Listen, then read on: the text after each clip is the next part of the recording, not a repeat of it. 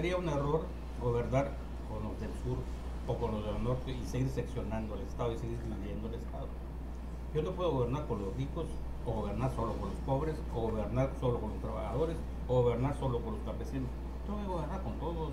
Yo los tengo que integrar y los tengo que llamar. Y los tengo que integrar. Vengan acá cada quien en su, en su función y en lo que sabe. Y el del sur, el sur tiene un potencial económico, político y social, pero insospechado.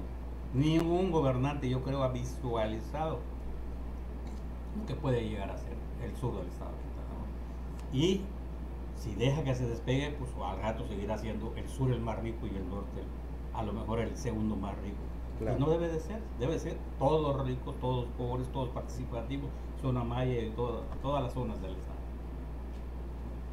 Pues dicho de otra manera, quien gane va a definir sus momentos de ingerir miel y sus momentos de ingerir hiel. ¿sí? Porque la miel la va a tener cuando gane y cuando le den su, nombramiento, cuando tome posesión. Muy bonito. Después, ten cuidado porque podrás tomar pura hiel ¿sí? si no planificas y si no interpretas bien la realidad social. Pero acuérdate que siempre de la miel nos dan muy poquito. Y de la hiel tomamos más. Muchísimo.